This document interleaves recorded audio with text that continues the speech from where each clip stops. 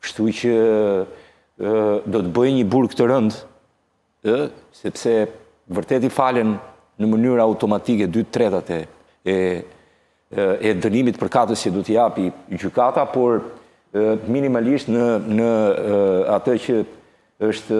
ngritur si akuzë për momentin, e cila është vrasje me dashje, besoj që Nuk do shpëtojë dot pa pa tetë vjet ose dhjetë vjet burg, minimalisht. Edhe për shkak të moshës i ka këto vitet e burgut.